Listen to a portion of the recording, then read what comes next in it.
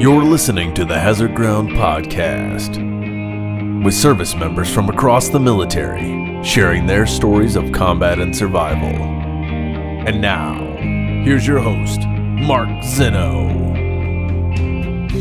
Welcome into the Hazard Ground podcast. This week, special guest, former member of the U.S. Navy, and actually very excited as uh, I currently live in Atlanta, Georgia, and he is a Georgia native. And so it's good to have one of our own here on the Hazard Ground podcast. His name is Dusty Kirby. Dusty, welcome. Thank you so much for joining me.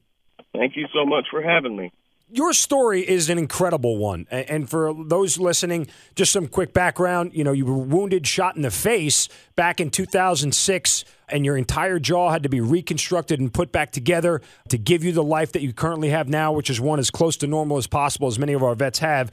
But let's start with the main question we always ask everybody, which is why did you join the military? Why did you join the Navy? Well, I, you know, from a very early age in my life, I always wanted to be a hero. And in my mind, you know, those people that served overseas and, you know, fought in wars and things like that, that's, uh, that's where heroes are made. And, you know, I, I had plans afterwards to join law enforcement or be a firefighter or, you know, something along those lines. But I knew that to get to where I wanted to be, uh, the military was my first stop. So. so, when did you know it in high school? Is that what you were trying to do in high school? Was all the preparation you did in high school for getting into the military? Uh, I took um, when I was in eighth grade. They had um, they had the Army ROTC program visit us from the high school to right. speak with us and stuff. And as soon as that happened, I was like, "That's it, right?" So I joined ROTC in ninth grade, and I stayed in ROTC to the end of high school, which you know, when I joined the military, ultimately it got me uh, got me a little bump in rank, uh, put me at an E three joining because I didn't plan on going to college prior to. I, I didn't, you know, no offense to anybody, I didn't want to be an officer. You know, I wanted to be in it, like in it to win it. You know, and I did, like I said, I didn't plan on making a career out of the military. I just knew that it was part of my plan. So you graduate high school. It's like the next day you walk into the recruiter office and sign papers. Is that did it happen that quickly? Well, um, before I'd actually graduated high okay. school, I I was in uh, I was in negotiations with the army, right? And you know, then September 11th happened, right? right. And everybody was kind of you know bumping everything up, and because they were bumping everything up, my contract with the army was you know found in conflict because you know everybody was getting shipped out, and what I'd originally wanted to do in the army, which was uh, you know airborne MP kind of stuff, right? Right. And utilize you know being a police officer, right? So they uh they ended up knocking this off my contract, knocking that off my contract, and towards the end, I was just like your basic infantryman. And because they had shifted their focus on me, I felt like you know they weren't necessarily concerned about me. And me and my recruiter got into a big fuss over it, and I ended up not going with the army. So I took about a year to set everything up and figure out exactly where I wanted to go and exactly what I wanted to do. And during that time, I did a lot of research, and my cousin also decided to join the Navy. Um, he did he did so before I did, and he went looking through all this business, and you know that's when we found out about hospital corpsmen, and you know at that point in time, you know it sounded a lot like a nurse you know, as far as the job description goes. But we found out about the uh, the green side of things, which was you know the corpsmen that are attached to Marine Corps units, who are pretty much Marines and medical personnel. And I figured that uh, you know I was told it was a very daunting task, and I've always been up for daunting tasks. So I undertook that role and mentally prepared myself for that path. You were in high school during 9 11, so you were what, 17, 18 years old, correct?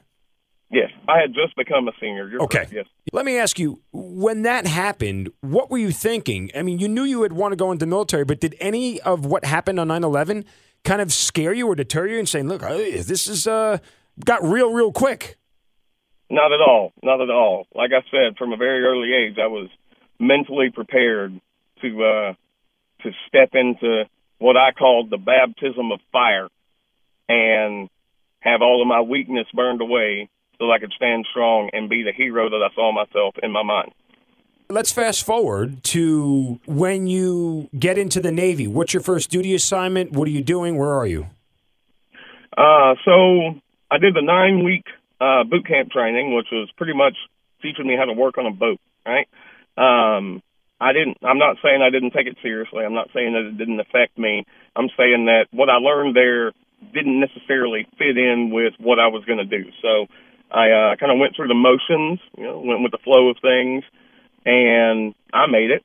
So after that, I went to uh, A school, right up in Great Lakes, Illinois. Mm-hmm. The um, at the time they had that's where the hospital corpsman training was, and I did the 14 week, you know, kind of basic corpsman training, you know, which had to do with working in a hospital. They talked about field medicine. They talked about this. They talked about that. But I just pretty much I had to learn about you know cross contamination and you know sterile procedures and uh, developing sort of like you know good habits towards healthcare, right?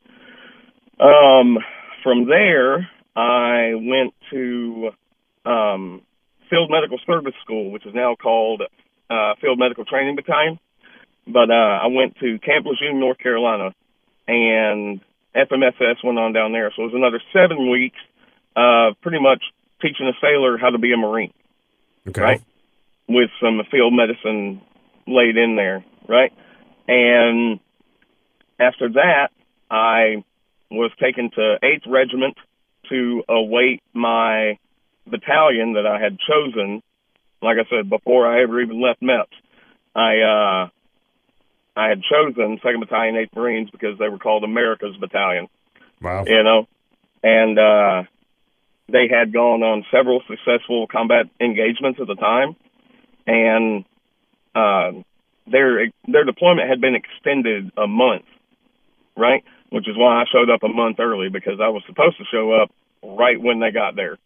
So, um, but I, I hung out at 8th Regiment for a little bit, helping out there, and then I got picked up by 2nd Battalion, 8th Marines, What year was this? and uh, 2003. Okay. And once I got picked up by them, I never looked back. All right. And so your first deployment ends when? Uh, August of 2005. Okay. So August of 2005, you get your first deployment. You come back home, right? You come back stateside at mm-hmm. least, or do you stay, you know, uh, in a forward area? Well, no, we came back. Okay. Right, because uh, it was a the the primary thing was like the Navy. You know, when they deploy, they they deploy for six months even. You know, and unless they're extended, they come back because their ships need maintenance and things like that. And uh, you know, they were taken back to Norfolk, Virginia, and we were dropped off in Camp Lejeune. Okay. So, and we we took a week off, right? Had our post deployment leave, and immediately after that, we began our workup for uh, what I like to call a real deployment. And Why is it a real Uh, deployment? oh, because we were we were going somewhere where stuff was happening, you know. And um, I mean, that's just the way it is for like boots on the ground. You know, we we're not privy to, you know, the higher machinations of things. We're, you know, we're just engaged in what's happening right there in front of us. So, you know, hence why we need direction and things like that.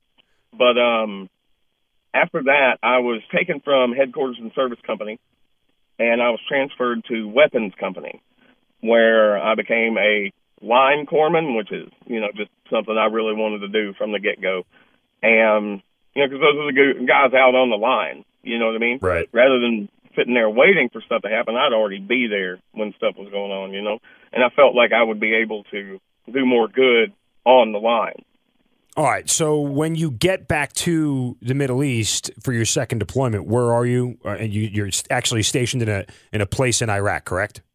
Yes, we were. Um, well, we came into Camp Fallujah, right? Mhm. And we were based out of Camp Fallujah, but we did most of our operations um, around 45 minutes northwest in a city called Karma. That was uh, Weapons Company's area of operations. And for those listening, Fallujah is probably about uh, 30, 45 minutes, uh, 30, 45 miles directly west of Baghdad. Fallujah, Ramadi, that area. And some of the most intense fighting in all of Iraq took place in those areas. You know, and the time that you were there is you you were in the middle of 2006. That was the worst time in Fallujah and Ramadi. As a, as a matter of fact, when the surge happened in 2007, for more background for people, that was where a big chunk of people went because the violence was at its height in that area in the Fallujah Ramadi area. Okay, so when when in 2006 do you get to Camp Fallujah? July 25th of 2006. All right, so you're on a six month deployment. Uh, we're, it was supposed to be seven, slated for seven, right?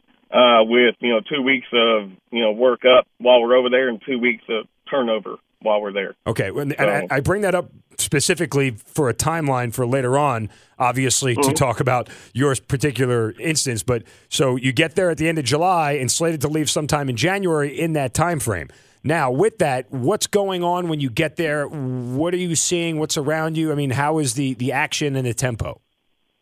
Well, there was a uh, like four days before we got there, something to that effect. It, it may be more, maybe less. Uh, you to forgive me, my memory is a little hazy. But uh, during their last like weeks there, uh, they ended up losing a Marine to sniper fire, and uh, you know, forgive me. Also, I, I don't remember the unit that relieved us or that we relieved, but they were uh, they were East Coast, uh, West Coast. I'm sorry. Um, when we got there, they were they were still in the throes of losing somebody, so close to the end of their deployment. So when we got there, quite literally, uh, my turnover was, you know, have at least four body bags on your truck because you're going to need them. Wow. You know, was it, and uh, when you hear that, is that like a sombering thought? Like, what's your reaction when you first heard that? Well, you know, uh, you you look around and you're like, okay, so statistically speaking, you know, I'm not going to be talking to some of these guys by the end of this, and it, uh, I would say that it, uh, you know, you said somber, but you know, my my pride in myself and in my work, um, kind of pushed me in the other direction where I was like, you know, I'm not going to let that happen. So when everything starts, you get yourself planted on ground, you get used to life there in in Fallujah. Take me through kind of a normal day. Uh, well, the first week was relatively normal. There were a couple of mortar drops on Fallujah, but they didn't impact anywhere near where we were. And it was one of those things like, you know, you hear the siren, you go to the bunkers, right? Uh, which were just concrete boxes out there, right?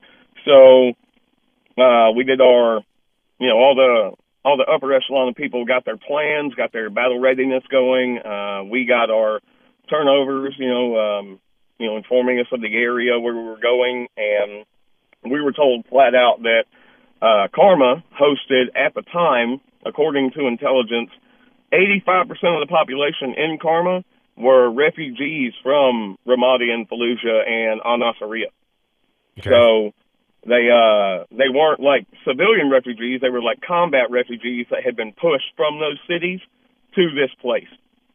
Riding through the area, it was it was literally like a wild wild west, man. We uh we were out there and you could feel every single eye on you. It was it was definitely a uh like a like a hair raising experience.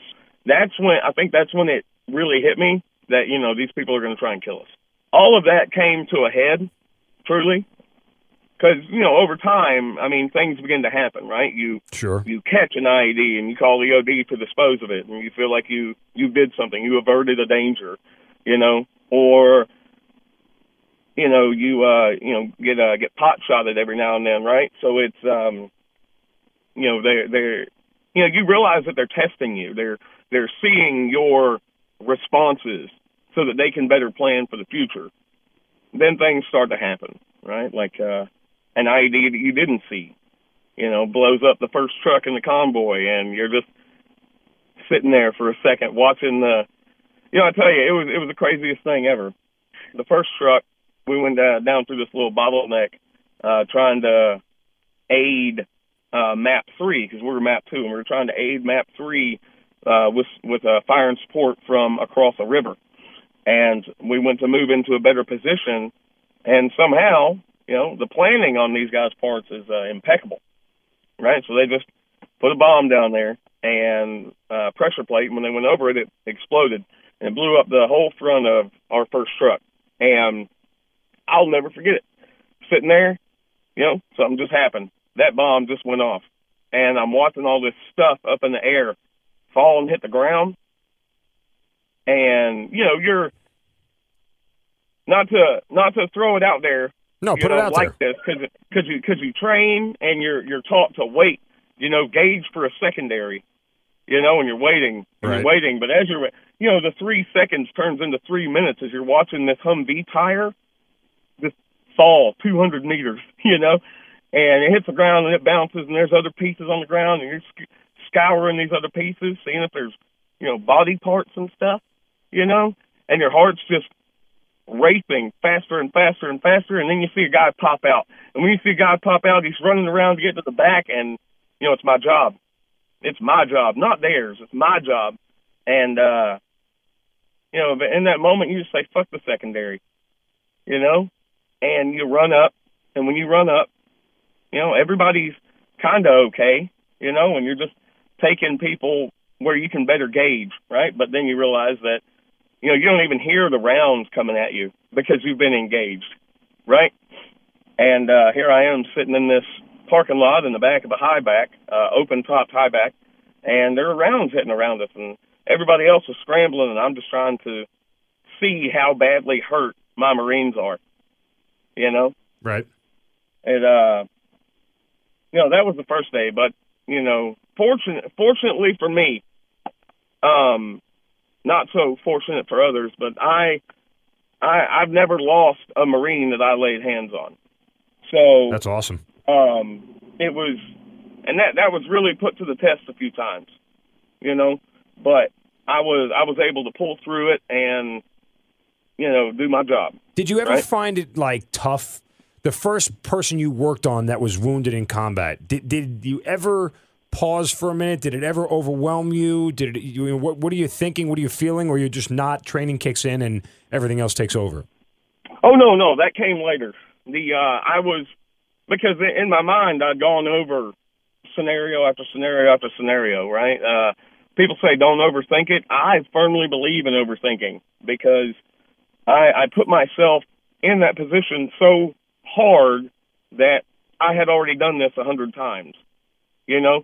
And uh, you know, it I I looked at you know, I looked at legs and arms and things like that as easy fixes. You know, a bullet hole, easy fix.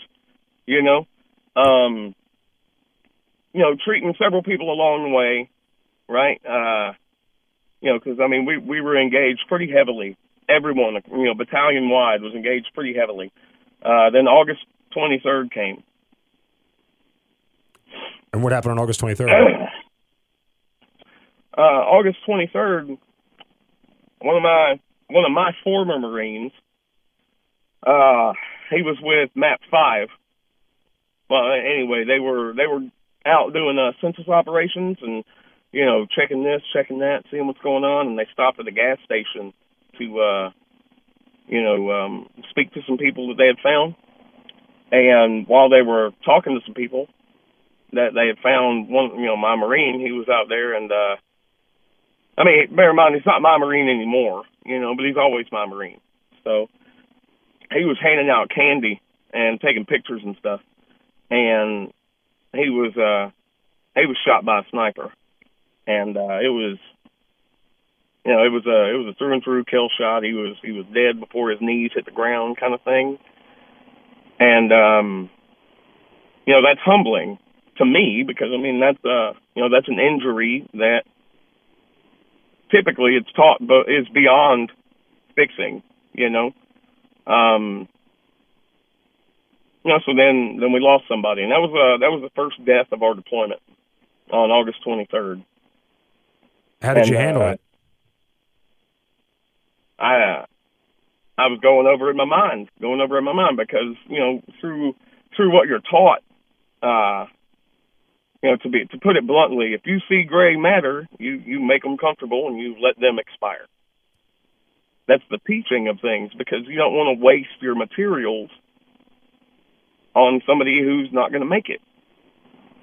And uh, the you know people don't understand the people can imagine and they see it in movies and video games and stuff, but the reality is that the destructive force of a 762 round is beyond our comprehension. You know, when when you see it, you are.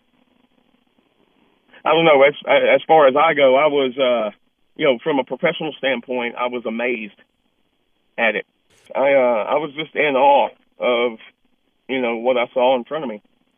Did you And, ever? uh, did you ever, in the process of coming upon a wound, say, "Well, I haven't seen this in training"? Like, were you shocked at what you had seen because of, you know, the the, the seriousness of the wounds, and as you said, the the impact that a seven six two round has? Were you unprepared to see a wound?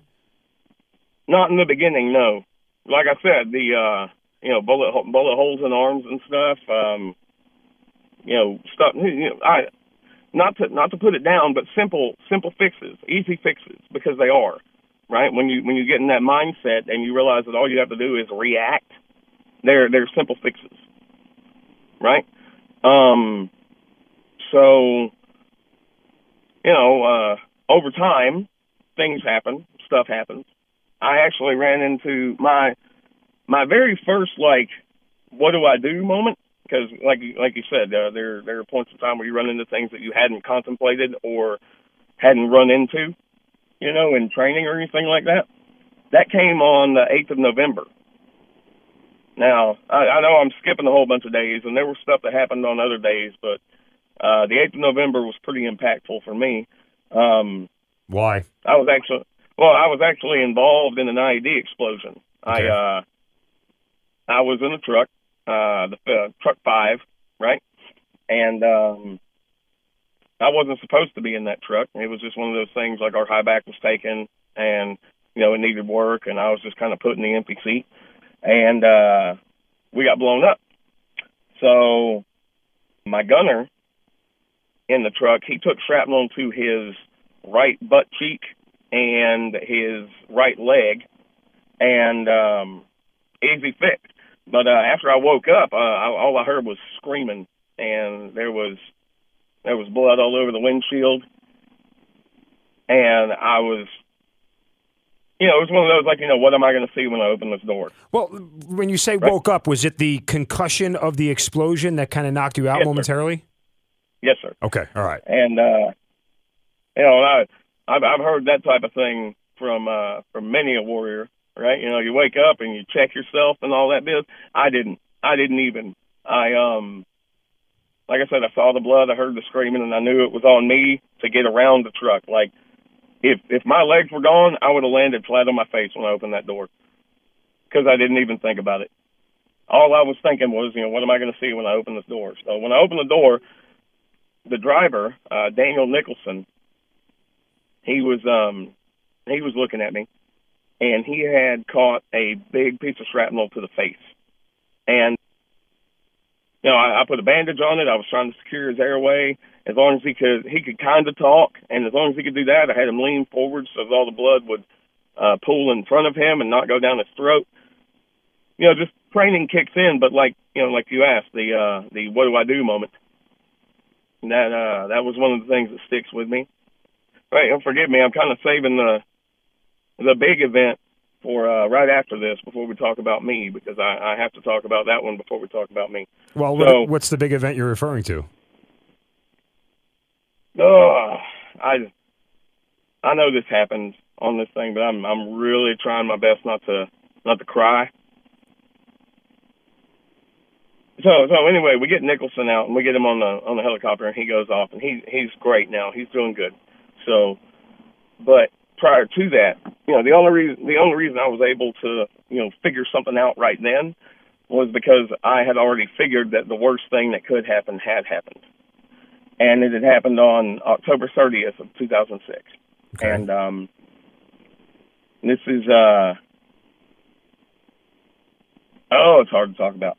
But whew, so we're we're out and um you know, we're just searching the countryside, you know, just uh we had uh we had had two reporters um attached to our unit so that they could, you know, kind of you know, get a front lines experience kind of thing, Okay. and you know, tell the story from you know a boots on the ground perspective. And they were real cool dudes, real cool dudes. I I still keep in touch with one of them. You know, they were in my truck, so you know, if, if they got hurt, I was right there. Um, but you know, we were we were just doing like some normal stuff, some busy work stuff, because they didn't want to put reporters in a dangerous situation. You know what I'm saying? Right. So they, uh, you know, we were just rolling around, and after we had cordoned and searched several houses and buildings, took like you know a couple of hours, three hours, something to that effect, and uh, we we're getting ready to return to OP Omar, which was our base of operations in the area. In the area, um, the front truck had to do uh, had to do like a backup, right? And they went forward, and the gunner uh, did a uh, you know spot check, right? So he jumped up and leaned out, and he's like, "Yeah, you're good."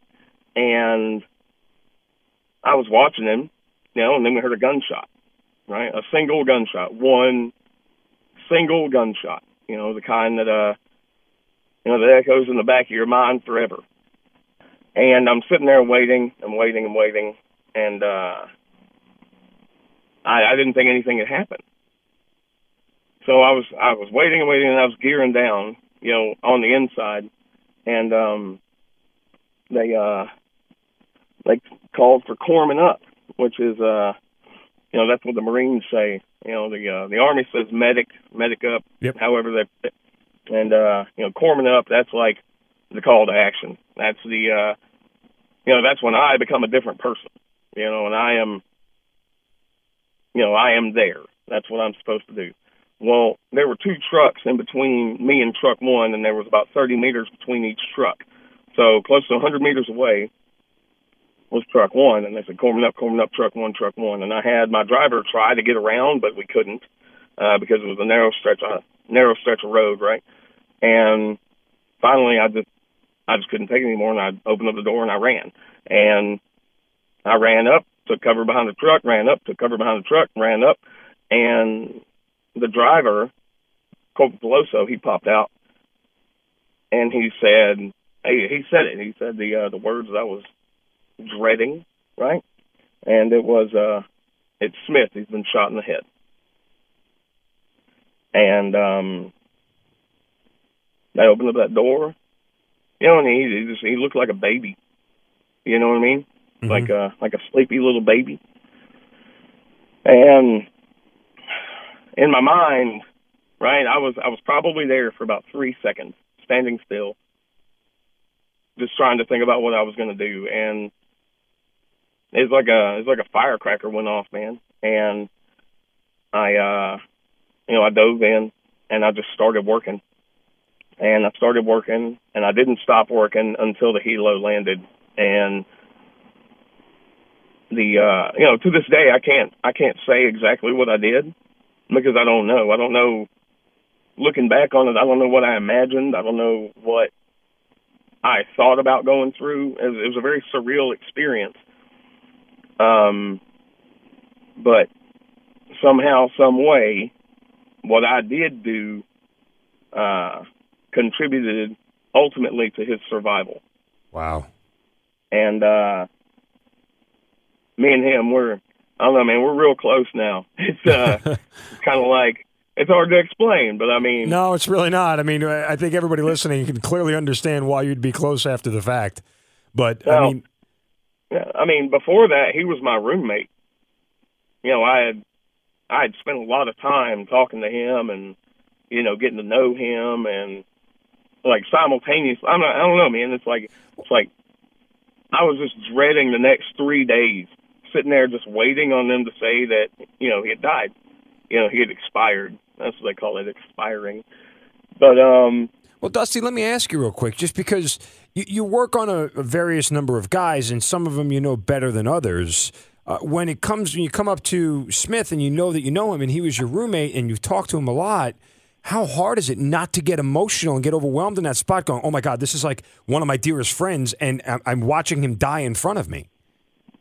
Oh, that that wasn't even a thought at the time.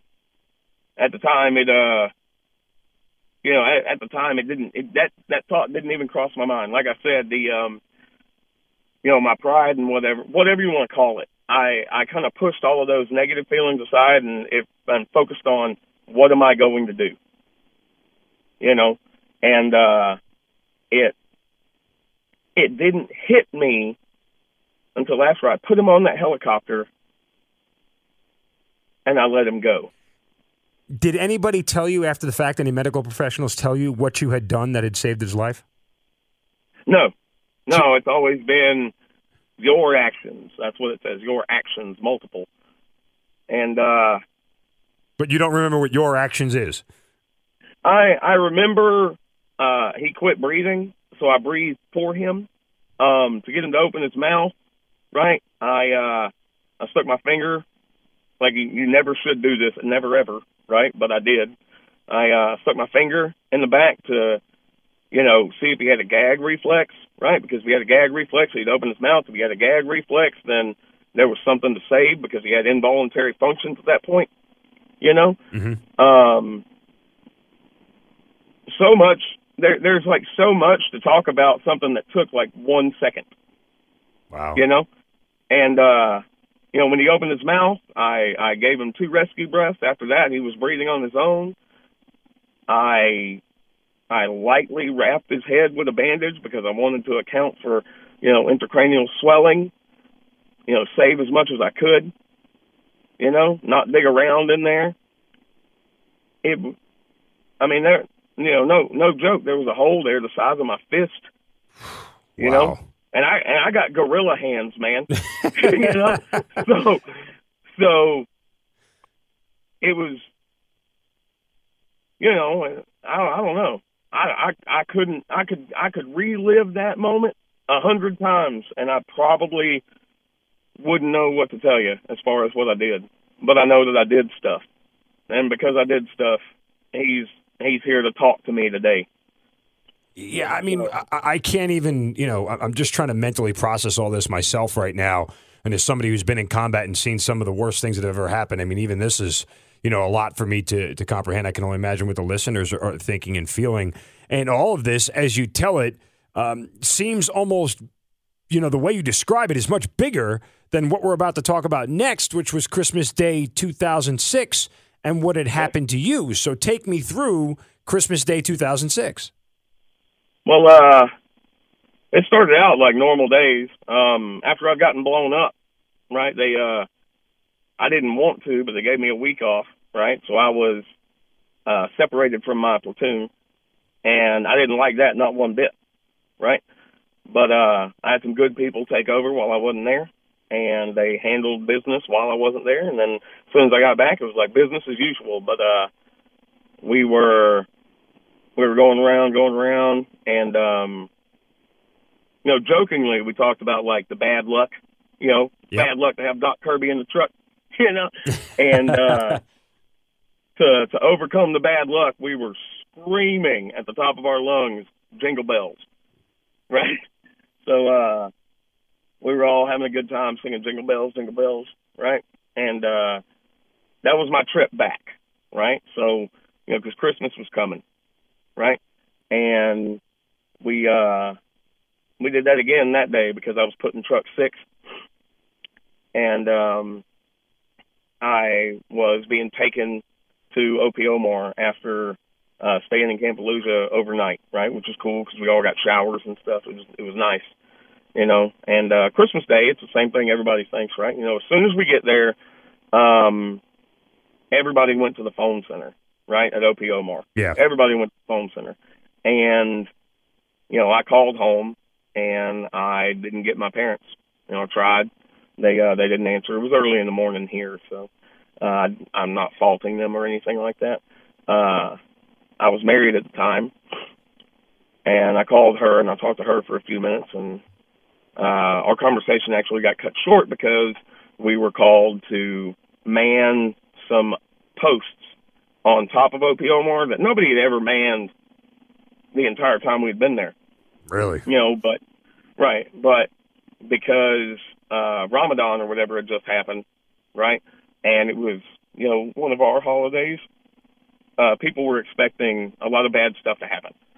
So they wanted to, uh, you know, up the up the force in the area. You know, uh, put more people in more strategic positions. Our platoon was actually split, and uh, we manned every post on Opio and we actually manned two adjacent posts posts across the road, right, so that we were, you know, on the lookout for anything and everything, right.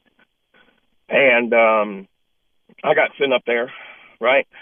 So I'm up there for, you know, going on three hours, right? Going on. It was like two hours and 45 minutes, something like that. And, you know, while I was up there, I'd eaten a, I'd eaten an MRE, you know, meatloaf and mashed potatoes. There you go. and, uh, you know, I just did the lazy thing and put it all in the bag at the end. You know, got it all hot and put it all in the bag, mixed it all together. Right, sitting on a broken air conditioner, just eating my meatloaf and mashed uh, meatloaf and mashed potatoes. Right. So uh, my buddy, uh, uh, another corpsman, came up and he was just talking to us, you know, going around seeing if everybody was okay. And uh, I sent him downstairs to get me a Rip It, right? And um, you know, he went. and He was going to get me a Rip It, and then our release came, right? So I figured I would just, you know, meet uh, my corpsman buddy going down the stairs, grab my Rip It, and go chill out and make my phone call. And real quick, right? by the way, the Rip It is just, it's like a, a, a Red Bull, just in case anybody was wondering. Yeah, you know, just yeah, sorry, not knowing. It's okay. Go ahead. Um, and the weirdest thing happened. Right, the strangest thing in the world happened. I took one step outside of the post, and everything went white. Right, and um, you know, I, I shook my head because there was a ringing in my ear. I shook my head, and I looked around, and as soon as everything kind of cleared up, I saw my my battle buddy up there on post. Right, he was on the ground with his hands folded, covering the back of his head, and I immediately thought that we had been blown up again. Right, and uh, so I kind of nudged him with my foot, and I was like, "Hey, you know what happened?" And because my ears were ringing, at least I thought that's why, but I sounded funny. Right? Like to myself, I sounded funny. Mm-hmm. And I was trying to puzzle out why I sounded weird, what had just happened, all this mess. And uh, he looks up at me and clear as day, he says, You know, holy shit, you're bleeding. What do I do? Right? Okay. and I'm looking at him and I'm like, I'm bleeding. So this is the first time that I check myself and I look down, starting at my feet, going up my legs, looking at my chest, looking at my hands, and as I hold my hands out in front of me to look, blood, like three drops of blood hit my hand. And then after that, it's like the most torrentious waterfall of blood that you've ever seen. Like in my mind, it looked like The Shining when those doors opened up. and uh, good and reference. I immediately, yeah, I immediately took a knee, and then I'm, you know, I take my glove off and I'm touching my face and I'm touching my face and I'm like, oh man, you know, something has happened, and uh, namely because I couldn't feel my jaw, right? So that was a moment right? And uh, then the calls went out, everything was going on, and I was taking off my helmet, and then I couldn't breathe, so I took off my flak jacket. So I'm leaning forward and I'm looking at the ground, and there's all this stuff on the ground, right? All this stuff. And uh, call it shock, call it adrenaline, call it whatever you want. I just started pulling this stuff together, kind of like piling it up like broken glass pieces. Mm-hmm. And uh, I get it all together, and there is a small mountain. I call it a mountain because I mean that's what it was. A a uh, a small pile of swollen flesh and blood, right? And in the middle of it, I just reached out and picked up this thing, and it was a it was a tooth was part of my jaw. Oh, right. And I looked at it, and by that point in time, the other people had gotten in there, and they saw me holding that, and I just looked at them and then I showed them the tooth. And, you know, no kidding, this is what they said. They said, they said, Kirby, I'm so sorry. You know? And I'm like, what does that even mean? you know. But uh, immediately following that, they wanted all my serialized gear. You know, so I'm taking account of my night vision goggles. I'm taking account of my rifle. I'm taking account of my pistol. You know, uh, anything I had on me that was serialized, I just hand to them. Right. And At, at any point in time, are you nervous? Are you like what? What you, you seem to be doing very matter of fact things at this point you know. I'll, I'll be I'll be a hundred percent honest. I had no idea how gravely I was injured. I, uh, in my mind, I knew beyond the shadow of a doubt I could walk into the uh, the bathroom trailer that we had, stitch myself up, take a nap, and continue on. You're a sick In person, my mind. Yeah, in my in my mind, that's what I knew. you you, you Right? you operate different than most people, Dusty. That's for darn sure. Oh, well, well, uh, like I said, call it adrenaline, call it shock, call it whatever. I had I had no idea to the extent of how badly I was wounded. I mean, did, uh, like you, And- you had been shot in the face. You, you didn't even get knocked over. Did you fall to the No, ground? no. Well, I from what I hear, I stumbled back and caught my like my back caught on the door, and that was where I regained consciousness and shook my head. Okay. Right. So I, I like stumbled back towards the post, and my flak jacket hit like a ledge or something. Gotcha. And Okay. I was kind of just like I was kind of just like leaning, and then I was like, oh wait, what happened? Right. Um. But anyway, they uh you know they take my gear. They're wanting to do this that and whatever else. They say they can't do what they need to do in this post, and that we need to get off the roof. Right. So as soon as they say we need to get off the roof, I don't even think twice about it. I stand up, you know, with uh we were wearing flak suits at the time. I just had it tied tied around my waist. I wasn't wearing a flak jacket, no helmet, nothing. And I just walked out. And uh you know, I'd just gotten shot out there, right? And somebody said something and I remember thinking, what's he gonna do? Shoot me again? you know? and um and anyway, so I, I walked to the stairs, and when I walked to the stairs, I realized that there were six people in full flak and Kevlar, right? And their weapons were slung at their backs. And I was like, these guys were supposed to carry me down. You know? hmm And uh, I'm just walking, and I'm looking at them, and, uh, you know, we country boys, we just throw up our two fingers to say, hey, you know? So I did the country boy wave to everybody on the way down, and I just watched every single one of them, the color just leave every bit of face they had. And uh, that's when I got to thinking, I was like, this might be pretty bad. Got to the bottom of the stairs, I kicked open the COC, and I did my best to say, uh, Merry effing Christmas, right? To uh, Staff Sergeant Lavador, who was on the comms at the time. But uh, I don't think anything came out. I'm not sure, though. So anyway, I walked past the uh, the COC, uh, walked past the planning room, and I walked into the BAS, and I started gathering things I needed to give myself an IV. And real quick for everybody, just the COC is the is the operations center, and the BAS the battalion aid station. Just so people understand what the what the acronyms are. Go ahead. Yeah.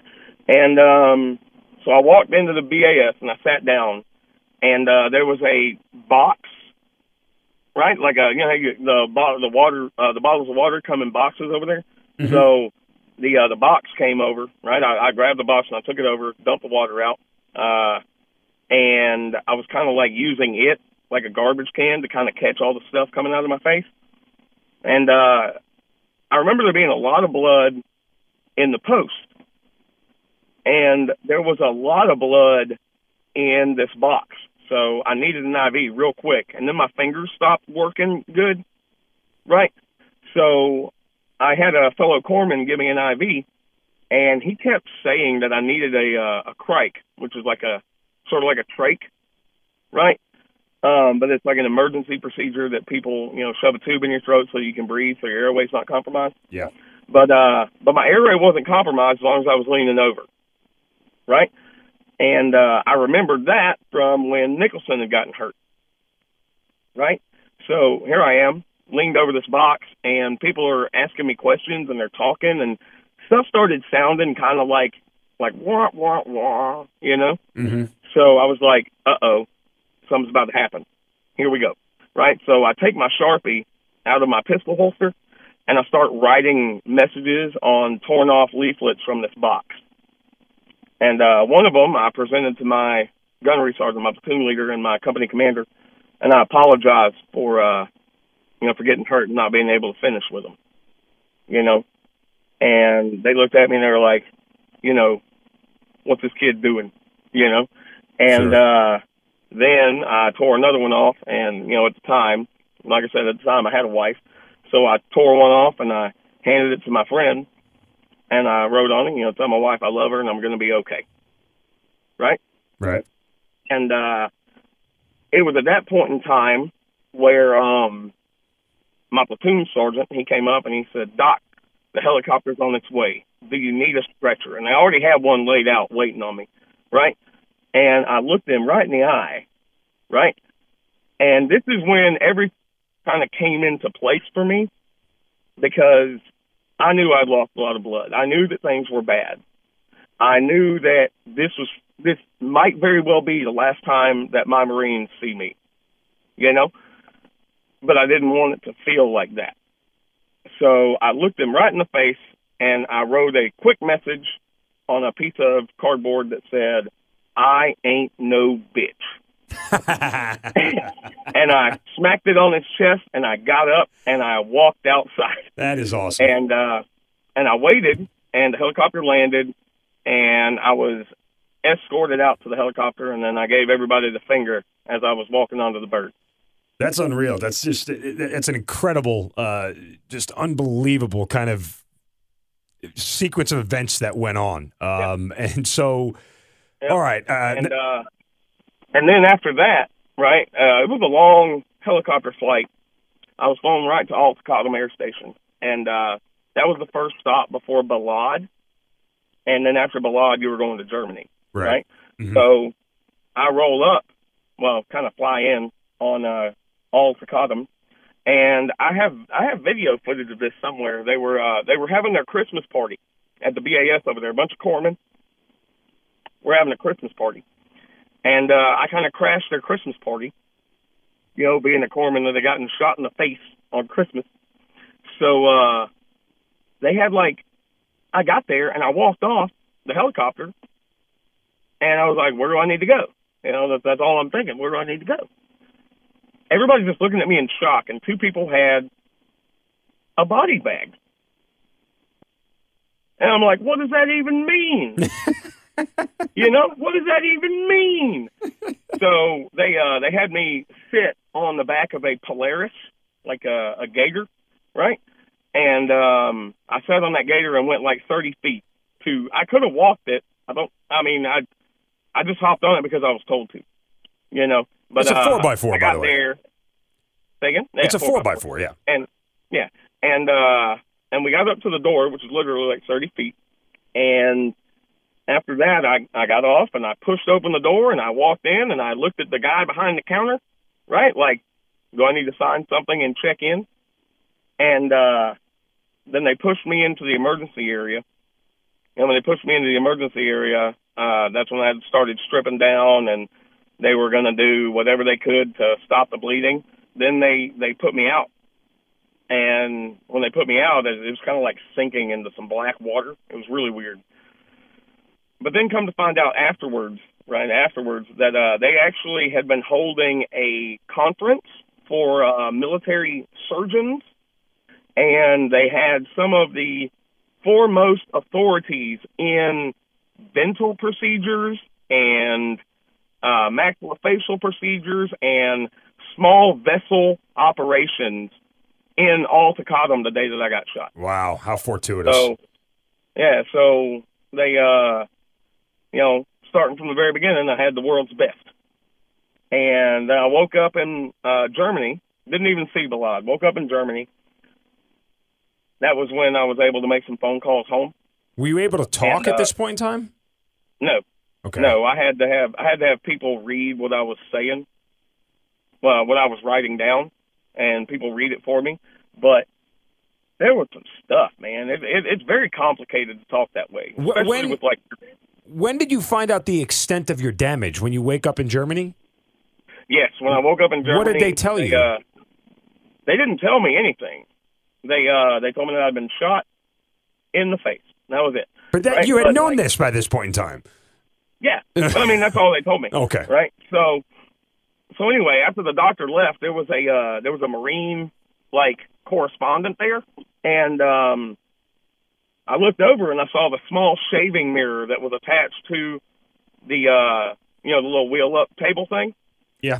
and um, I was reaching for it, and these uh, the lance corporal that was there was going to help me get it, and the staff sergeant that was there was like, I wouldn't do that.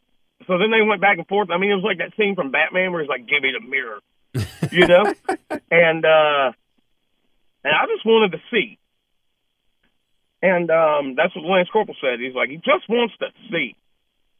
So he helped me wheel it over against the staff sergeant's wishes, and I looked at it, and that was when I kind of gauged the extent of everything because I, I didn't even recognize myself.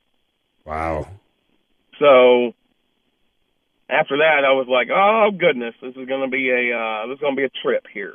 Yeah. So I'm in Germany for a couple of days, and then I got on I got put on a plane, right? And I was flown across the ocean to uh, what you call it, uh, Bethesda, Bethesda, Maryland, and I was met by my family, and uh, so my mom, my dad, and my wife at the time, they all met me up there, and um,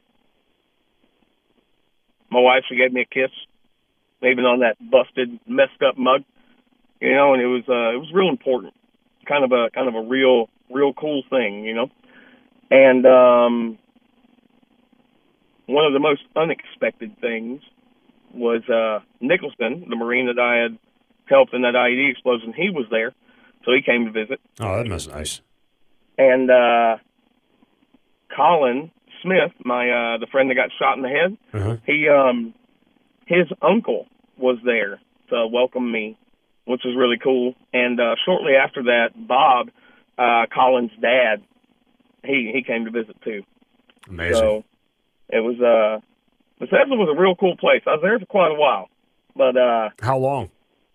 so let's see, I got there December 29th. I had my actual procedure to, uh, you know, kind of rebuild stuff and put me back together on the 7th of January. And then I was there until I believe the 8th of February, 2007. But I was, I was hell bent on getting out of there and being in Camp Lejeune when my Marines came home on the 12th. So I made it there, and I was actually there ready to help everybody unload their bags as they got off the buses. So it was uh, it's pretty awesome. Well, and again, I, I remind everybody that you know you got on this deployment at the end of July, and you came home. Your unit came home the second week in February. So you know all of this was within five weeks of you returning home. Yeah, I got I got cut short. So, uh, but I mean, I, I don't know. I, I don't look at that as you know neither here nor there. I I wish I'd been able to finish it out, but you know, in in my younger days of this injury, I wanted to go back, but uh, now I realize that you know that's not my place anymore. Right. All right. So let's do this. It's 2007. Uh, you have to suffer through uh, almost a decade of just going through rehab and things of that nature until all of a sudden the opportunity comes to get your entire life changed. Explain how that opportunity came about and what was going to happen.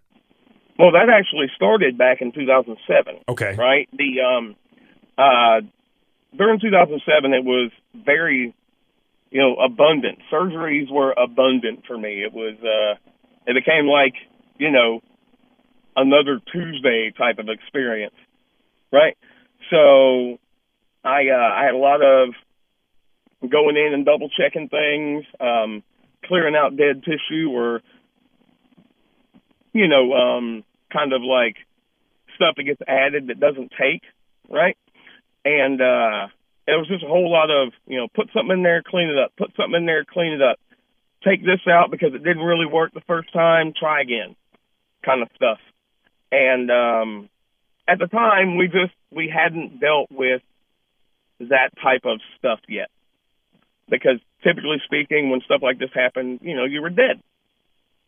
You know, it all went the way it did. But uh sometime I can't remember exactly when, but I was invited up to New York, and I went up there, and we went to some it's a, the Marine Corps Law Enforcement Foundation. They uh they held this gala, and we went up there. You know, the uh, the CMC, Commandant of the Marine Corps, the uh, Sergeant Major of the Marine Corps, uh, General Pace was there at the time. Just kind of you know rubbing elbows with a whole lot of people you know, we were up there and we were hanging out and chilling out, and there were these two doctors that were part of the foundation, and they were there, and they were like, you know, we heard about what you did, we heard about what you've been through, and we want you to know that whatever the military doesn't finish, we will finish for you, oh free God. of charge, pro wow. bono, all kinds of good stuff. And at the time, I mean, don't don't get me wrong. At the time, I had a whole lot of nice people say some really nice things, but I, I never really followed up. I uh, I didn't keep in contact. I didn't. It wasn't like uh, you know, every six months I'm like, hey, this is what's going on. That didn't happen. I had I had total faith that the military was going to do the very best they could.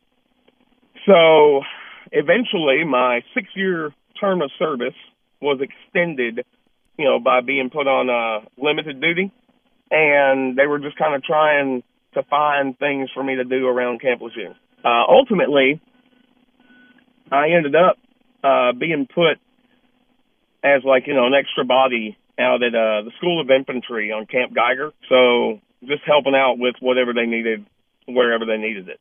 Right, doing my best here and there. Towards the end of you know some craziness though, stuff started getting real sour, and the surgeries became less and less. And eventually, I went like a whole year without having a procedure done and then I was let go because I wasn't going to be able to get off of limited duty. So uh, the military put me on the med board, and I was medically separated uh, from the Navy. Well, this is when things got real bad, right? Because then I'm I'm working through the VA, you know, and I'm Yeah. I'm waiting. I get I get told that when I get out, I'm gonna you know I'm gonna have all this money. I'm gonna be okay. I'm not gonna have to worry about anything. Well, two months go by without any kind of income. The, well, I'm, the meager support I got as like you know finishing things out. It you know stuff that's supposed to carry you through like a couple of months, right? You know, you're used to making, you know, as an E5, you know, with BAH, you end up making a good chunk of money, and you know you for you forge your lifestyle according to that, and uh then you get out and you're only making fifteen hundred dollars. You know, it had been a long time since I had to decide what bills I was going to pay and what bills I was going to let go. And I was staying on my parents' couch. Stuff wasn't going very well. I feel like this is going to be kind of heavy to talk about, but it's a it's a chapter in my story that needs to be talked about. Does that make sense? Sure. So, any which way, I, I hit a point in time where I felt like I didn't have any support. I felt like there was nothing going good. I felt like I wasn't what I used to be. So what's the point? And at that point in time, a whole bunch of my Marines had uh had killed themselves by then. So uh, you know, suicide rates rising and this, that, and whatever else. I really felt very alone. And uh I hit a point where it was, you know, just one of those straw that breaks the camel's back kind of thing. Mm-hmm. And uh you know, I tried to kill myself. So I um I hit a point, right? Because up until this point I hadn't gone I I had kind of given up on therapy. I quit taking medications prescribed by the VA and the DOD. I uh I'd even stopped taking pain pills. You know, because I didn't want to do anything like that. And uh so anyway, which way I drove my truck going really, really fast, like, you know, topping out at 120 miles an hour, uh, off of a small cliff into the, into a tree line, thinking it was going to do the job. It, uh, fortunately for me and my family, it didn't, but, you know, it put me in a position to where I was actually ordered by the courts to attend regular therapy. And because I was ordered by the courts to attend regular therapy, I kind of put myself out there to take regular therapy. And by like the fourth visit out of 30, I really kind of started giving into it and I was able to work with those therapists and kind of figure myself out. And, you know, needless to say, I'm much better now than I was back then. Well, thankfully. So, yeah. So, you know, here we are. Well, a little bit of time went by, and I just kind of, I've been taught by the therapist to, you know, accept my situation, right? Because if you fight against it, it's just going to cause hardship. So here I am, 2014. It's going on, and I'm looking around, and I've got a problem. One of my teeth is uh, is infected, right? One of my broken teeth is infected because I was left with uh, broken teeth and busted teeth and misaligned teeth and a broken jaw and just you know just stuff was messed up. So one of my teeth gets infected and I can see the infection traveling up to my eyeball. Oh, right? God. And you know, me being a corpsman, I recognize this as an emergency situation. And this isn't this is this is not a VA bashing thing. So I, I don't want anybody to take it like that because you know the VA at the time was overwhelmed with people. So I'm sitting there and I called the VA to schedule an appointment to get my tooth extracted. That's my that's my entire thought process. And I explained to them that it's an emergency. I needed this, I need this done now. So I'm calling them in February, and they tell me that the earliest appointment they could set up for me was in November. So after talking to this person and expressing my frustration in the most polite way I could, I uh, told them thank you for your time, and I hung up the phone. And then I walked into my bathroom at home, and I pulled my own tooth. Oh, you're kidding me. Nope, with a uh, with a Leatherman and a wash rag. Oh, I pulled my own tooth. God. Now, you, you can say "Oh God" all you want. I'm telling you, it it felt so much better after I got it out of there, though. right? So, so that was cool, right? I was I was like, okay, so I'm missing a tooth. Cool story. And then um, a couple days later, because the tooth beside it didn't have the support of that tooth that was there, it actually broke into three different pieces while I was eating, and I had to pull two more pieces out sitting at home by myself because I wasn't going to call the VA and bother with them. Well, then one night my mom and dad came over and I had one of those like real bad moments where I'm just kind of focusing on all the bad stuff. And, you know, they're talking to me and I'm like, you know, I, I feel like my mind is breaking down just like my body is breaking down. You know, and I hit that moment where it's like, you know, it, it, it's not going to get any better. It's just going to keep falling apart. And then my mom, just out of nowhere, says, "What about those doctors?" I was like, "Oh, come on, mom. They're just real nice people who said real nice things a long time ago." And uh, she's like, "I'm going to reach out to them." I'm like, "You do whatever you want to do, man." Right. So my mom, this is uh, March, right? So this is March time frame after I called the VA in February, and March time frame, my mom calls, uh, emails this doctor, and when she does, he responds in eight minutes with, "Don't worry, Mama, we got this." Wow. Right. It's amazing. And April, they had me fly up to New York and get evaluated for what was going on. And for the first time in 10 years, these doctors looked me right in the face and said, We can fix this. And I was just renewed with this hope, cautious hope for the future, you know? And uh, then I had the first surgery. When I woke up and my everyday bit of pain that I had become so familiar with was gone. And it um it's hard to explain. You know, like like picture somebody who blows their knee out, right? It you know, it hurts when it's gonna rain. Or, you know, you get these the you know, my ankle hurts sometimes, you know, when I walk upstairs. You know, you get this daily pain that you expect and that you're you're you become very familiar with it and it's your daily pain. Well mine was in my face, right? So anytime I talked, anytime I ate, anytime I breathed, it hurt. You know, to a level that I was able to live with, but just because I had to live with it. Does that make sense? yes. So when I woke up from that procedure and this pain that I had come to know so well, it wasn't there anymore. And I mean, I've had plenty of surgeries, and I woke up and I, I I had pain from the surgery, but I knew the difference between that pain and the pain that was always there. Right. And the pain that was always there was gone.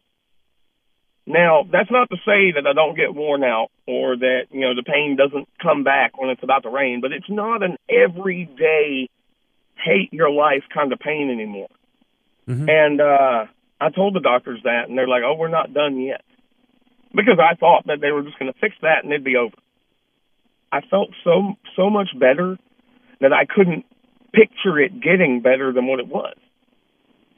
So then the next time I went up, it started the process for uh, dental implants, which would give me a full set of functioning teeth that would allow me to eat better, allow me to talk better, and just in general improve my quality of life.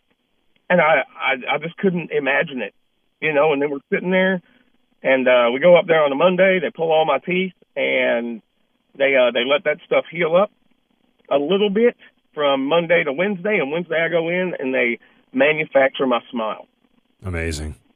It was and it was just the craziest, coolest, nicest, greatest thing that that I could have ever imagined. I mean, it, And- it makes me smile when they say manufacture my smile, knowing what you've went through. Like it's just it's heartwarming. Oh man, it's it uh they changed my life for the better and I can't speak words to express it. I, I couldn't say thank you a thousand times and even touch the surface of it. It um ah just, just a real wonderful group of people. Well, look, I mean, I can't say enough. You know, again, as a, as a fellow brother who puts on a uniform and and has been through the war literally and back, uh, what you've gone through and what you've done for your fellow Marines and, and fellow soldiers and sailors and everybody. Um, you know, it's you've certainly repaid us back, uh, and you you deserve everything that you've gotten to this point. I mean, you know, I, I know you have a, a deep debt of gratitude as you've expressed to me for the people who have helped put your life back together, but uh, we also have a great debt of gratitude to you for for what you've done. And and uh, this is a you know we scratch your back, you scratch ours kind of deal as we do in the military Yeah. often, but. Um, Your story is incredible. It's heartwarming. It's touching, and I, I, I thank you for sharing it with us. Oh no, it's uh all I mean it's it's the journey of every veteran in one respect or another, right? It's the uh the rise, the fall, the figuring stuff out and the rise again.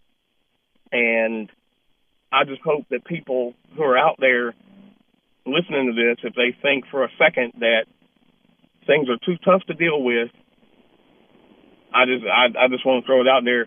Just hold on a little bit longer because there's no telling when it's going to get better, but it will because it always does. A beautiful message, uh, Dusty, and an absolutely incredible story. Uh, thank you for your service. Thank you for everything that you've done uh, for our Thank country. you for your service. Well, I mean, listen, you know, we do this together, uh, whether you're still in uniform or not. We're still brothers in arms. And uh, again, I, I thank you so much for sharing your story with us. It, it's been unreal. Uh, it's been a roller coaster of emotions through this whole entire, you know, process that you and I have been talking. But uh, I'm I'm so happy that it ends on such a high note for you personally. Oh yeah, no man, I, I couldn't. Like I said, I I can't speak enough to you know how greatly my life has improved over the past decade. Well, Dusty, wonderful things for you in the future. I wish you nothing but the best for you and your family. Thank you for everything, and thank you for your time. Oh, thank you for yours. You've been listening to the Hazard Ground Podcast, hosted by Mark Zeno and produced by Matt Pascarella. If you have an interesting story to tell and you'd like to be on the show, send us an email at hazardgroundpodcast at gmail.com. And if you like the show, don't forget to subscribe, rate, and review on iTunes. Thanks for listening. We'll see you next time.